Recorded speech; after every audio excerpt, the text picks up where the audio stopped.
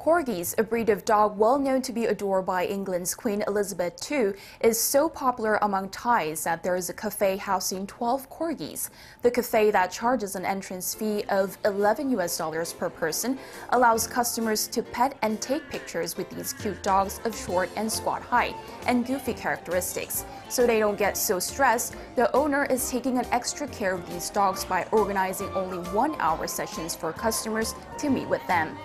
On their non-working hours, the corgis enjoy free time to run around the garden of the cafe at least three times a day.